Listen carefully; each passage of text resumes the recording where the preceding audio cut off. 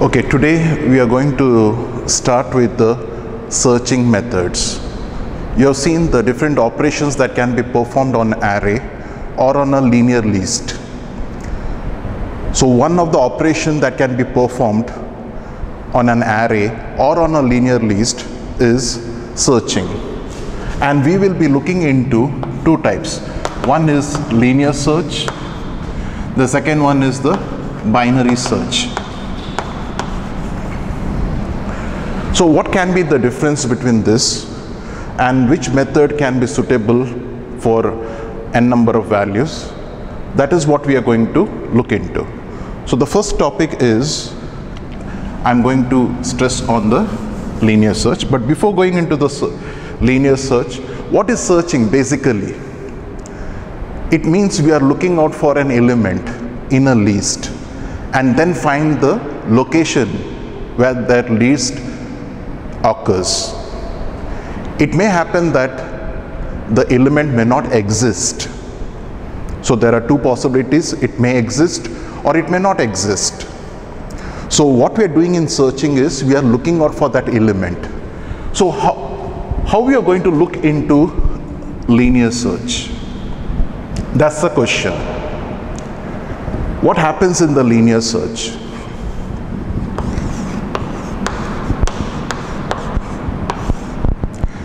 Linear search also we can call it as a sequential search. It means it starts from the first element, then goes to the next in sequence, then goes to the third, then goes to the fourth, then goes to the fifth. That is what the linear search is. And it is looking out for that element. If the element exists, then you need to stop searching. If the element doesn't exist, then we go till the last position and then come out. So when we come out of the searching, please understand you may have found or you may not have found the element. That is important. So when you come out of the searching, there are two possibilities. You have found the element or you have not found the element. I'll give a fine example for the linear search before we go into the algorithm for the same. Now assume that you're there in a hostel. You're there in a boys hostel and then your director tells you, please go and search for a particular student called as Ramesh. So what you're going to do basically, what you have done first is the director, hostel director has placed the students into the hostel. That's the first thing. So the second part will be, I need to ask the director whom I need to search for. For example, it is Ramesh. So I need to start searching. When I search, basically, I need to start searching from the ground floor. So I'll go over there, knock the door and ask, is it Ramesh? If it is Ramesh, I need to come out. My searching is over. If it is not Ramesh, then I go to the first floor. And this carries on till I find the person or it's an end of searching. That is that simple it is searching. So I'm going to give you an example and then we will see how we can put forward the algorithm. Now look at this example. You have an array.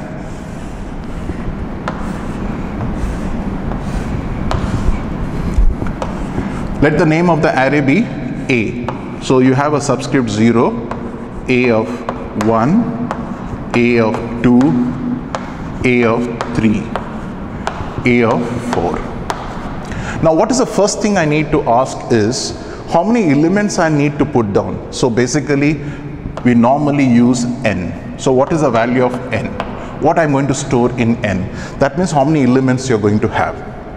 Once you know the number of elements, for example, in this case, if I take this as, for example, as 5. So how many elements I'm going to have here? 5 elements. So what is my second job? My second job is to put down the elements. So for example, 5, 2, 12, 8, 3. Can you see the numbers are not there in order? This is important for us. The next part will be I need to ask which is the element I'm going to search for. So for example, I store that in S.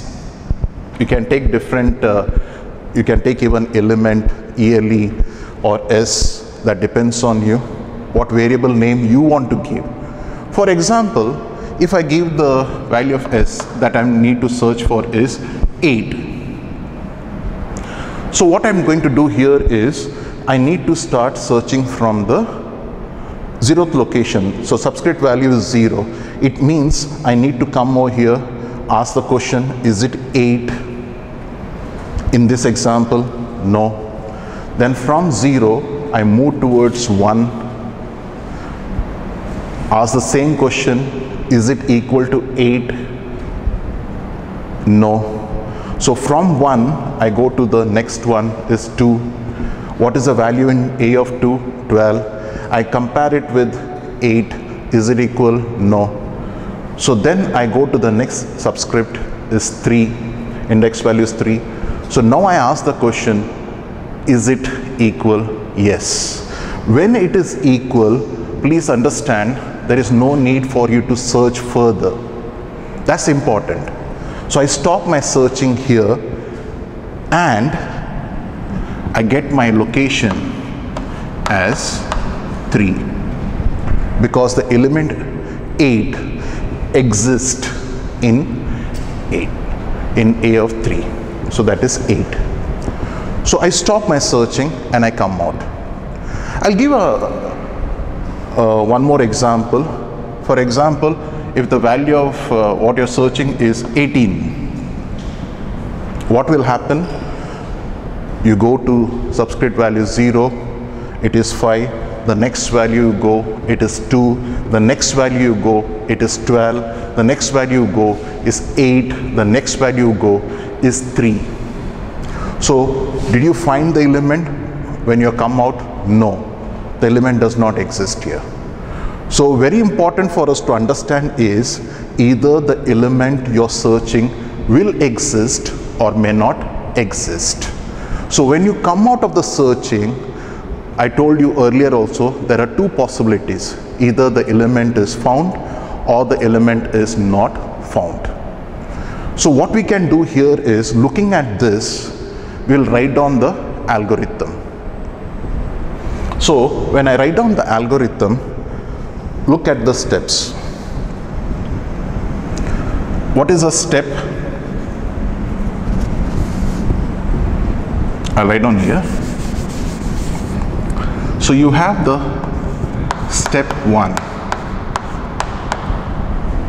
What can be the step one? Please understand we are writing down actually it's a function not the whole algorithm. So step one. So what I'm going to do here is I'm going to set my location. That is LOC is equals to minus 1 right? If you take the example of a hostel we can say minus 1 that means this particular person LOC where he stands he stands in the basement. Right? What is the value of the basement? Minus 1 now here I'm taking a variable LOC and I'm putting some value over there that is minus 1 right? What will be the next step? Step 2 step 2 is I need to travel. My traversal starts. From which subscript value? 0 till which value? 4 right? That is 1 less than the number of elements. So I can say for i is equals to 0 to n minus 1 right? What is the reason I've selected n minus 1 for the reason because the subscript starts from 0 in the arrays.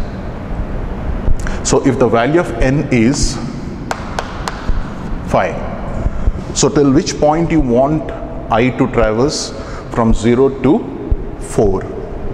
Now, when you're traveling, when you're traversing in the array, so what is the question you are going to ask is if a of i is equals to s. If a of i is equals to s, that means you, you were comparing. Now here we note to we need to understand one very important thing is whether false exist or are you executing any statement if it is false. If you remember this flow we didn't do it actually. So if a of i is equals to s then then what? Then location is equals to i. That means you have found the element. In this uh, example when you were searching for s is equals to 8 what would have been the value of i? 3 right? So once you get the location then in that case you can go out. Go to step 3 go to step 3 that means you're coming out from this step. Now this you're ending with end of if and then it is end of for. Now step 3 what can be the step 3 I'll write on on the other side. Step 3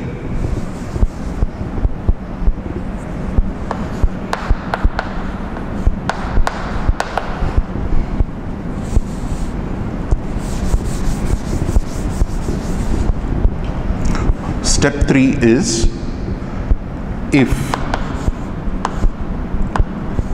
Location is greater than or equals to 0 so this is the way i'm going to ask the question is it greater than or equal to 0 if it is 0 or anything greater than 0 it means you have found the element.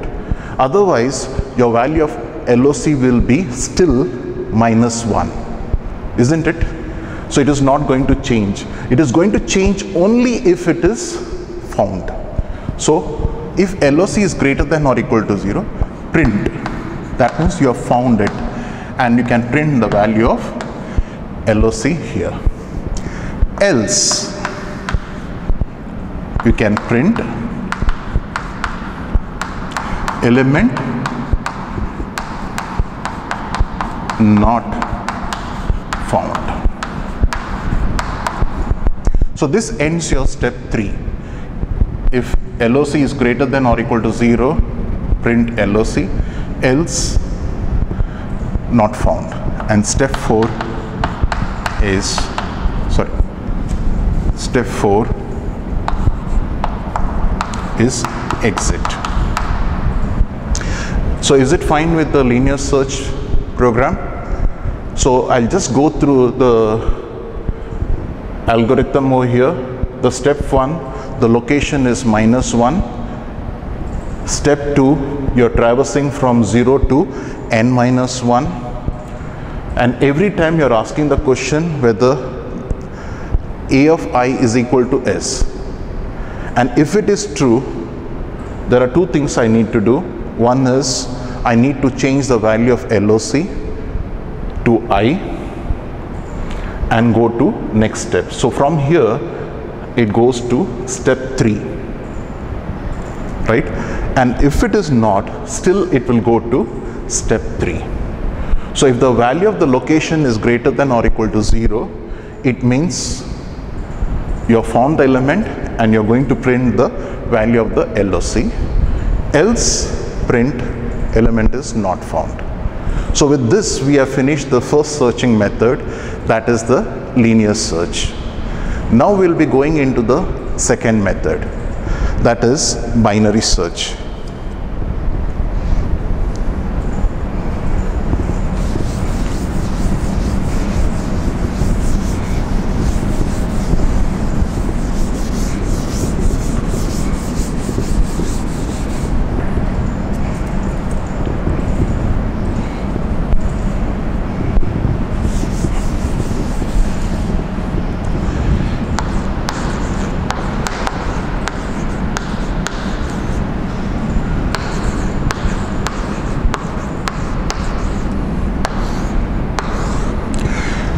The next method is the binary search. Please understand there's a difference in the linear search and the binary search. If you remember, when I was putting down the value into an array, I mentioned one thing that it is not any in, in a particular order. But if you're using this method, binary search, the first thing is your element should be sorted. It should be in a particular order. That is very important when it comes to binary search. The next important thing is in linear search it searches linearly. But whereas in binary search it finds the midpoint and checks the value at the midpoint whether that is equal to the value you're searching for. So you are basically dividing the searching into half and that proceeds. So if you have many elements, the number of elements are more, in that case binary, search will be suitable. Linear search will be little bit slower. You can imagine if there are 5000 elements and the element you're searching is in the last location. So what happens? It needs to traverse from the zeroth location till the last because the element you're searching is there at the end but in binary search, a different technique is adopted. So we break it and then we search and still we break it and still we search. So even if it is the last element, the searching will be much faster compared to the linear search. Let us see example how the binary search works.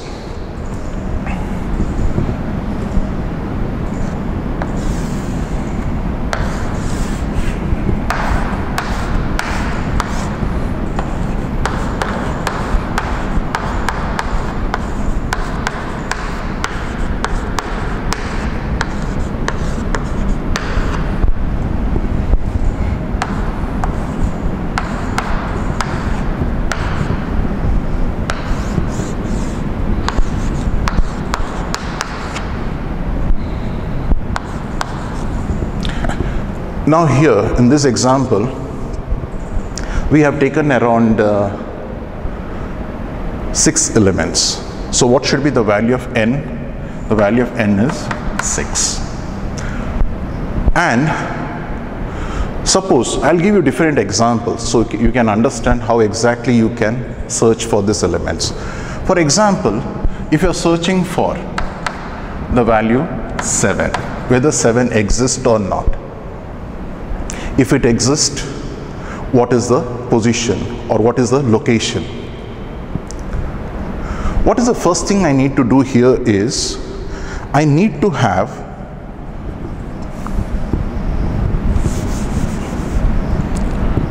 I need to have two variables which acts as a pointer. One is f, the other one is L you'll find in different textbook different uh, names have been given. That's not an issue. The thing is i'm telling that i need to start from this location that is 0 and i need to go till 5 that means somewhere in between these two i should find my element. Let us see what method it adopts. So i told you i repeat this again. You have f here you have L.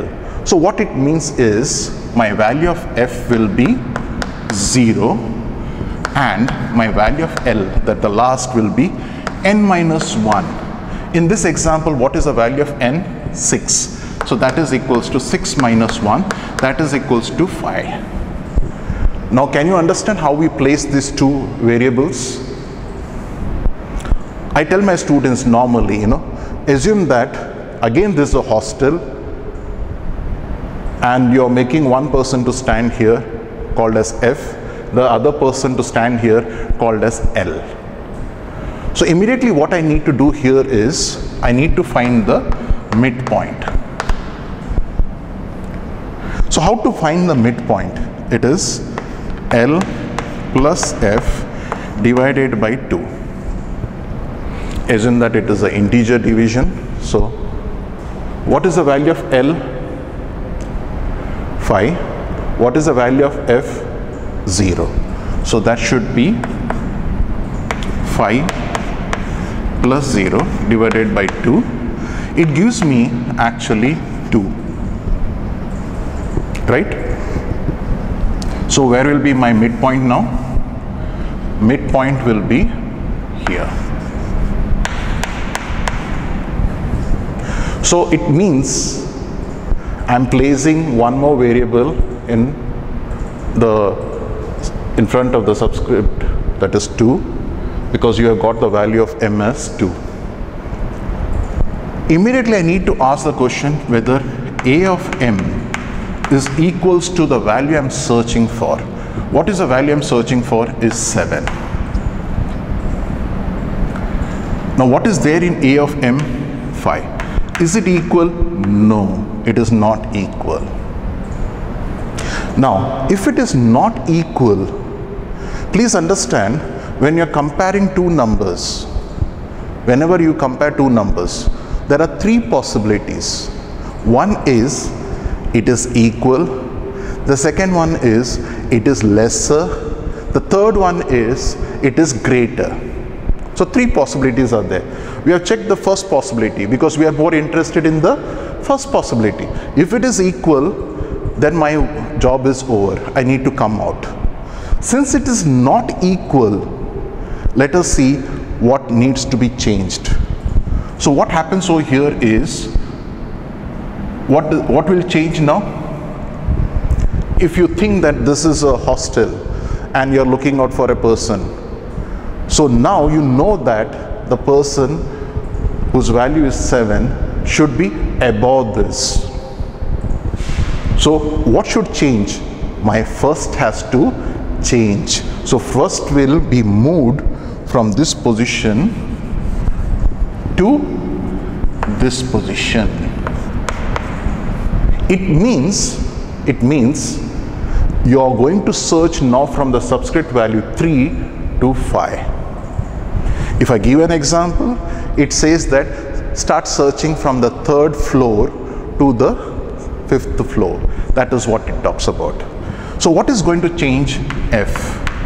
So my f will be m plus 1. In this example, it is 2 plus 1. That is equals to 3. So you can see here, f is now in front of 3. That means f is holding the value 3. Now again I need to find the midpoint because I know where is my f, where is my l. So it is again f plus l divided by 2. So what is the value of f now? The value of f is 3 plus 5 divided by 2 that is equals to 4. So now my midpoint has changed to 4 that means it will be here. Now again the question will be asked the question will be asked here whether a of m is equals to the value of searching. What is there in a of m now? That is nothing but a of 4 is equals to what is there in s? 7 but what is there in a of 4 now? 7 so it is equal to the value I'm searching. So my searching will stop here and then I can come out of the searching method. When I come out, what is the location I'm holding now? That is 4. So the value of the location now will be 4. Is it clear? That is very, very important for us to understand. Please understand, if I would have given you some other value down, for example, the value I'm searching is 4. With the same example, if I'm searching for 4 instead of 7, so what happens? What will change? My last will change. If my last is going to change, what will happen? It will be m minus 1. Very important is I need to understand in this method from which point to which point I'm going to search. My first and the last. So you can understand here is I'm dividing it always by 2. That means I'm finding the midpoint. So my searching reduces every time by 50%. That's the reason this searching method is much faster than the linear search in some of the cases. Most of the cases you can say. Is it fine? Yes. Now I'm going to write down the algorithm.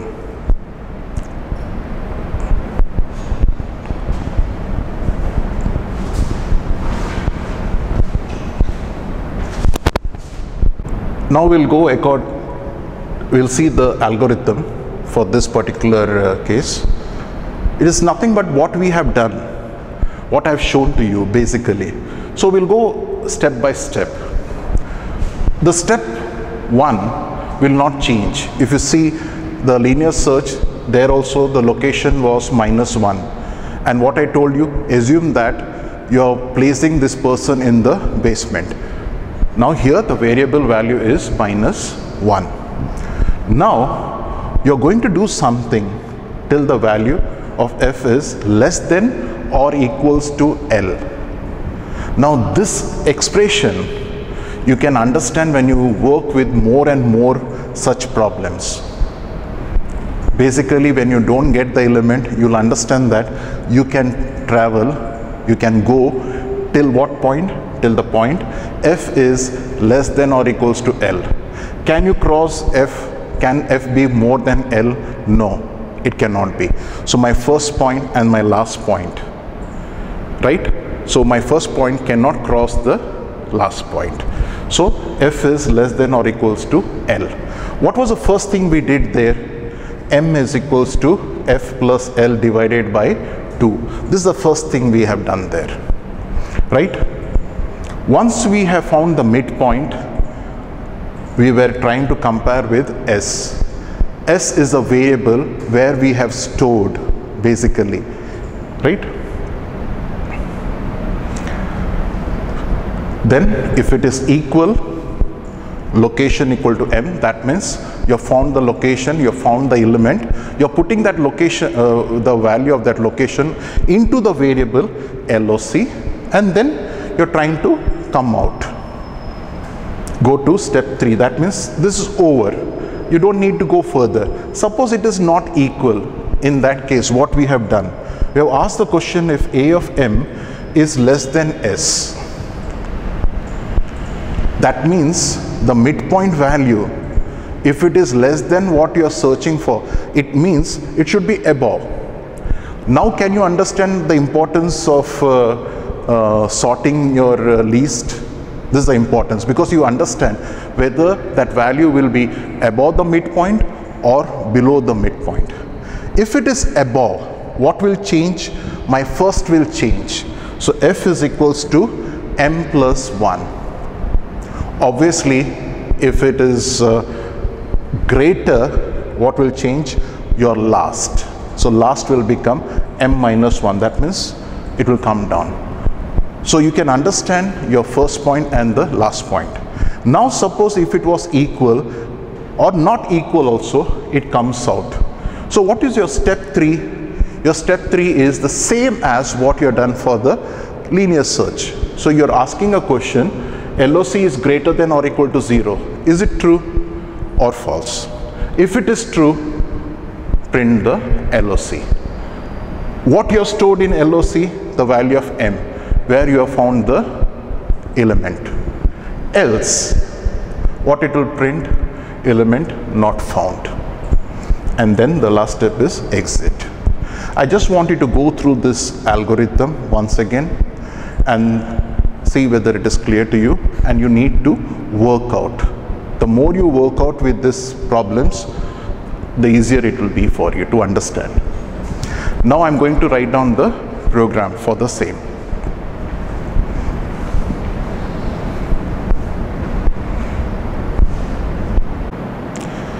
Now we'll see the program. Now you have already understood the algorithm, so it will be much easier for you to understand the program. So we have taken an array A, the variable i, n is for the number of elements, LOC as you know is a location we are going to have, m is for the midpoint, L is for the last, F is for the first. Then we are entering the number of elements and you can see here we are putting down the value into an array. Once we are done with it, we are asking the question, what is the element we need to search? That we are storing it in S. So I repeat this, we are taking N, we are putting into an array all the elements and the last one was the element we need to search. That is the value of s. Now here i've shown here that location is equals to minus 1 which we have mentioned it in the algorithm. L is equals to n minus 1 now that is very important for us. I've shown it to you when i was working with the problem where your f has to be it's the first point. So it is it will always start with 0 where will be a L? L is equals to n minus 1. That is, if the number of elements are 8, the value of L will be 7. Then same what we have done it in the algorithm, F is less than or equal to L and we are uh, finding the midpoint, M is equals to F plus L divided by 2. Now here the open round bracket and the closing round bracket plays a very important role because the operator here is plus. So you need to be careful when we are doing this. Once we have found the midpoint value you are finding whether it is equal to the value I'm searching for. If it is equal what you are doing is you are changing the value of the location. What midpoint value you have got you are storing it in LOC break. Break will make you to come out of the loop. Else if a of m is less than s then what we have done we have changed the value of f. That means my first will change. It will go above the midpoint value. So it is m plus 1 1 above the midpoint. Else what is going to change? My last is going to change. That will be one position below the midpoint. So you have taken l is equals to m minus 1 now this will work on this will go on till f is less than or equals to l now you come out of the loop in any situation whether you found or you are not found the element. This again you have checked earlier. If LOC is greater than or equal to 0, what you are doing? You are pr printing the value of LOC. Else you are saying that the element is not found. Get CH for us to understand that we are almost out of this program. So if you execute this program we'll be able to perform the binary search. But one thing is very important is when you are executing this, we are assuming, we are assuming that the list is sorted, right? Otherwise, what we need to do, we need to have one more program and then for sorting and sort the elements and then do the binary search. Here, when you execute this program, when you input the elements into an array, it should be in the sorted form. That is what we need to work on, right?